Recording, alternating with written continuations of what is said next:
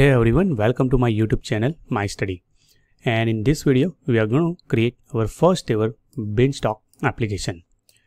Okay, so without much further ado, let me just quickly go to my Cloud Console and we'll just simply visit to Elastic Beanstalk. You can just simply search for Beanstalk from here, Elastic Beanstalk. So this particular service is easy to use service for deploying and scaling your web application. When your runtime will be Java, .NET, PHP, Node.js, Python, or there are a lot of other being uh, supported. Now here comes under two kinds of concept. Uh, one is like an application and another one is the environment. So applications are nothing but uh, logical groupings of all your environment. An environment contains all the details. What do you want to deploy?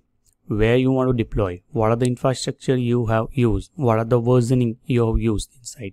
So everything.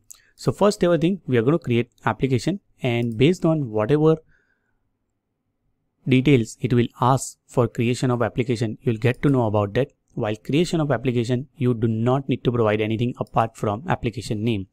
So let's say this is like uh, my first app. Okay in case you want to give some description you can provide it uh, you can provide some tags also up to a 50 let me create the app. Now that you will be able to see we are inside the application and immediately the application being created. But no infrastructure being provisioned no uh, application being actually deployed anything. It is just the container for your environment. Now when we create the environment you'll get to know that what are the things are required and that is how you are going to deploy your application. You can create multiple environment in a single application also. You can have a zero environment in your application, but that just simply doesn't make sense. It is just the uh, black box container we have created where we are not going to keep anything. Okay. So the important stuff will start when you start creating your environment. Now, moment I start creating environment uh, from here, I am already inside my application and you will be able to see we don't have any environment for now. So let me create a new environment. And there are two uh, ways you can go ahead. Uh, whether you want to uh, provision this environment for running your website web application or some kind of web API which is uh, serving HTTP request. Or you want to run for some long running workload on demand. Okay so in this particular case, we'll just go ahead with a web server environment because we want to deploy a very simple sample Python based application. Okay, uh, under uh, which application you want to deploy it. So by default, it's being selected like a my first app. Uh, application specific some tag here also you can add it. Okay, environment information. So this is the environment. So let's say I'll just provide uh, one more thing like my first app environment one. Maybe in future we'll create multiple environments for a single app. Next thing is how you're going to access your application. So for that you need to provide the domain. So let's say this domain has to be globally available within a region. So currently my region is being selected like a US East 1. So let's say I'll just go ahead with something like a hello. And if I just go for check availability, you can have a look at this is not available. So that means someone in the US East 1 region has already claim for this particular part of the domain. So the complete domain will be uh, your custom string dot the region in which you want to create this environment and afterwards some constant string like a dot elasticbeanstalk.com okay? So i'm just going to provide let's say i'll just try with some test then also i guess not available. So we'll just go ahead with let's say let's say some env1 yeah it is being available. So i'll just go ahead with the env1 actually. Okay next thing is platform type. So here uh, what runtime you're going to use it. So you want to deploy application for. net docker uh, go java node.js php python ruby tomcat. So i'll just go ahead with the python for now.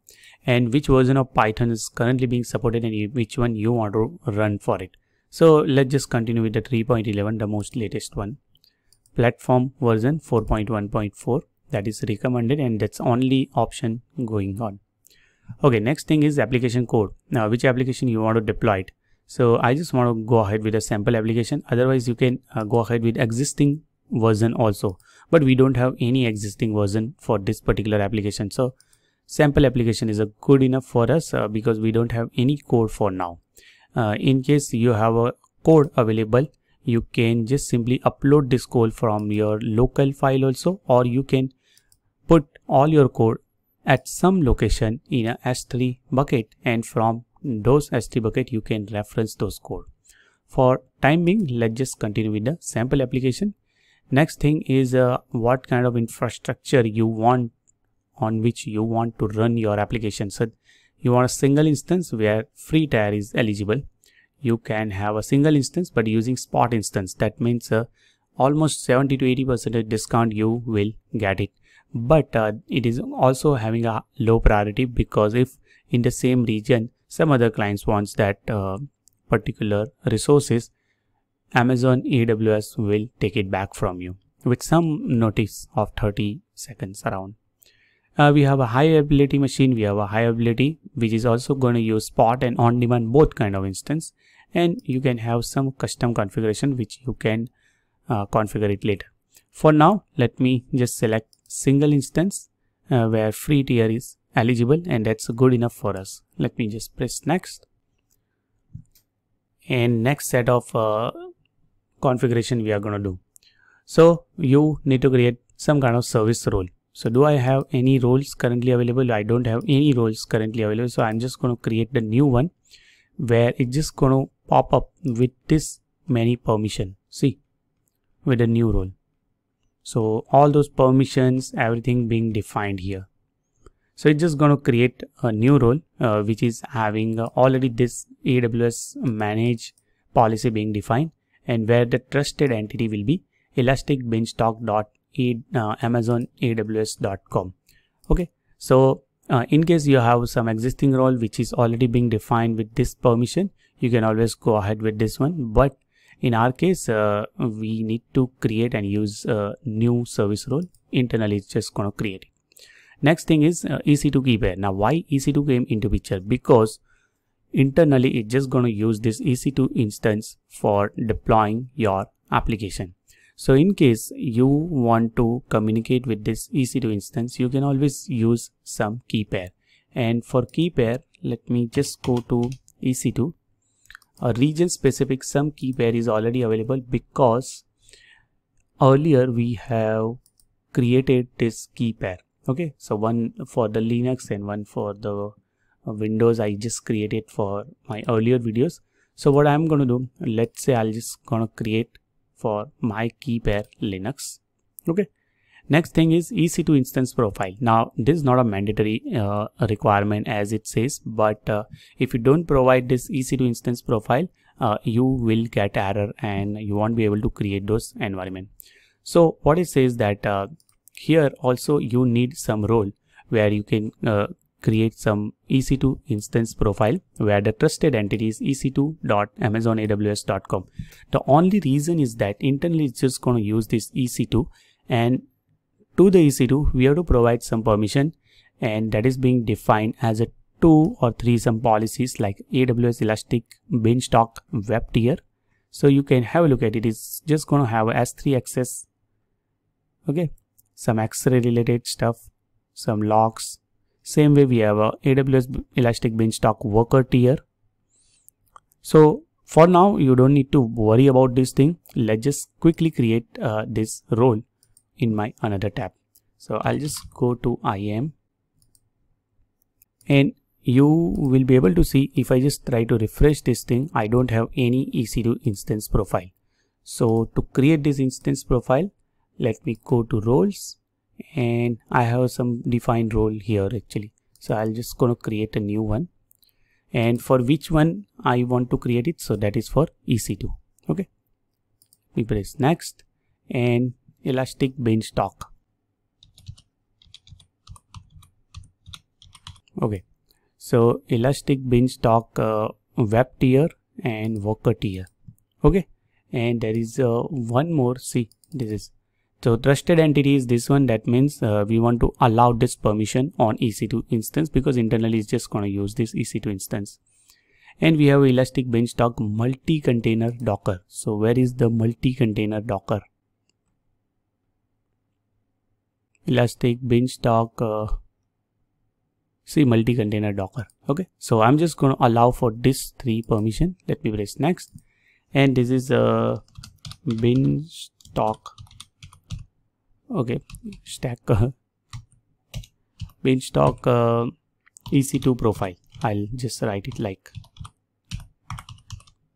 okay so allow EC2 instance to call AWS service on your behalf. And this is the trusted policy. See ec2.amazonaws.com. Let me create the role.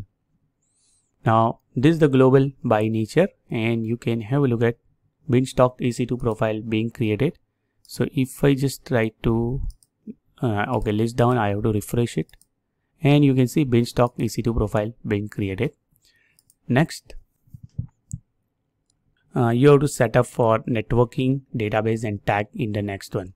So are you going to use uh, existing VPC or you can always create a custom VPC there we are not going to detail about it.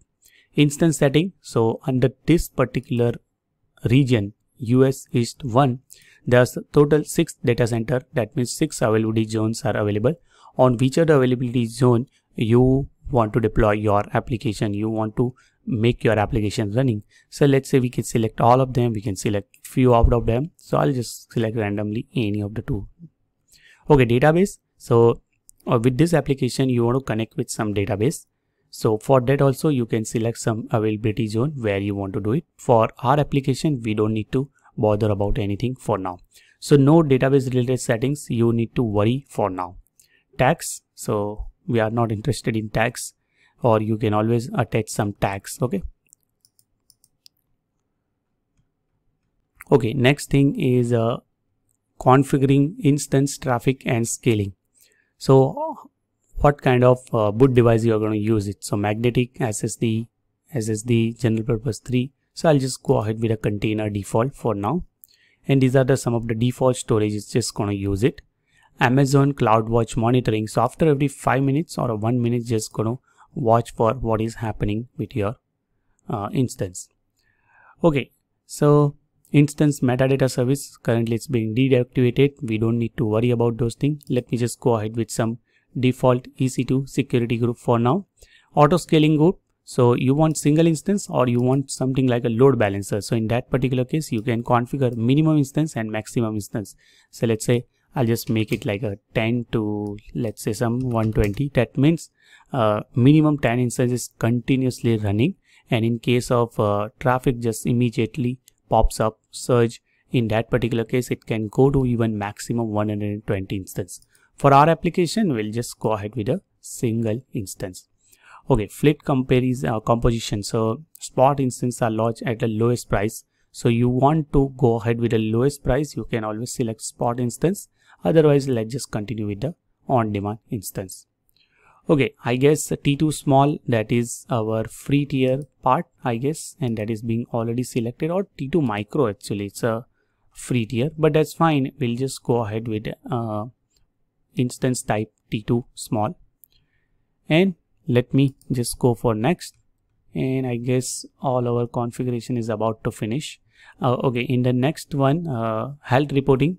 So we can continue with the basic health reporting or some enhanced one. Let's just continue with that.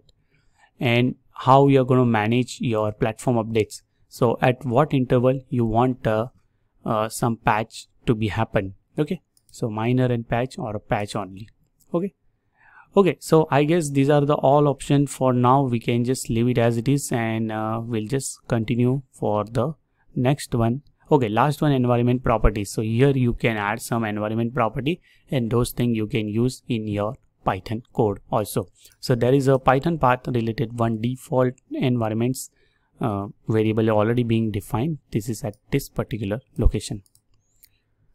Next and i guess it's about to finish all the configuration for our environment.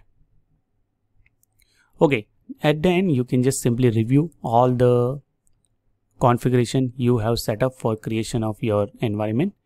And let's just submit it and let's start creating our first ever environment inside the beanstalk application.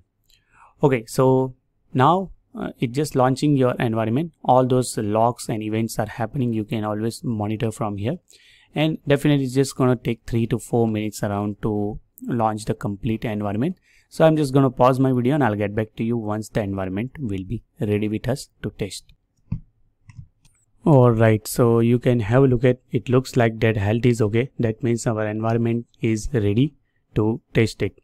Before that, I want to show you about the events. You can see now while launching this environment, these are the events happen. Okay, nowhere we got any kind of failures or anything. Successfully launched this environment.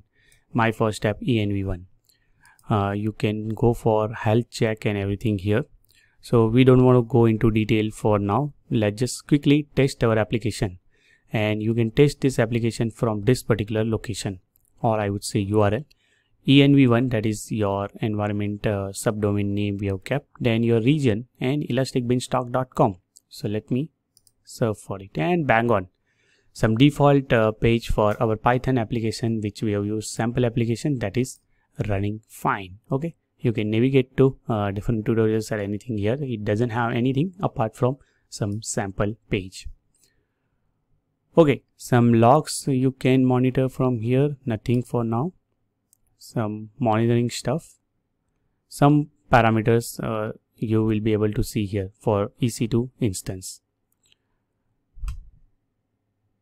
Okay now uh, I just want to show you that uh, while creation of this environment there are two things happen. One is EC2 profile we have created but along with that there is a one more role automatically being created and that is AWS Beanstalk service role. Okay so you will be able to see there are two policies being attached. So that is being automatically created because uh, we have given instruction while creation of this environment that you create this role with all those necessary permission.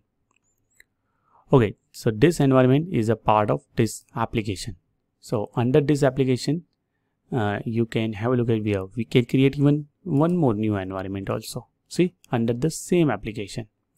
So this way uh, for let's say staging environment for testing environment for production environment you can definitely create for the same application a number of environment.